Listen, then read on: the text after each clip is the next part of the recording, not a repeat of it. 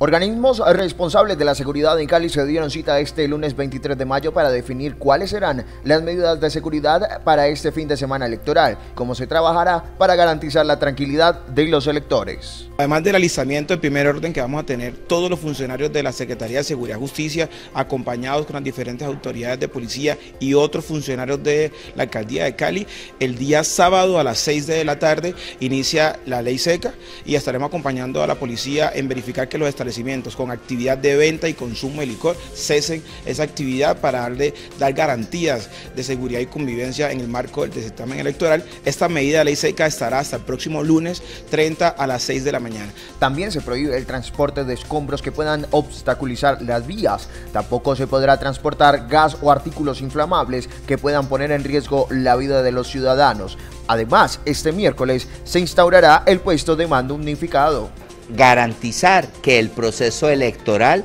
del próximo domingo se desarrolle sin ningún contratiempo en nuestro territorio.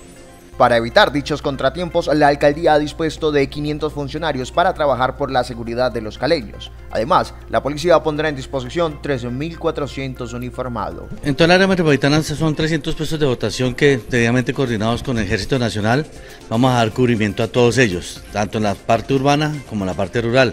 La policía, lo que es Cali, Ciudad Cali Capital, son 190 puestos, los cuales van a tener alrededor de 3.400 hombres de cubrimiento total en los puestos de votación. El secretario encargado de Seguridad y Justicia, Jimmy Dranget, hace el llamado a la comunidad para que no caiga en las noticias falsas. Tenemos también un plan de comunicaciones para evitar fake news, noticias falsas, noticias que puedan alterar el orden público.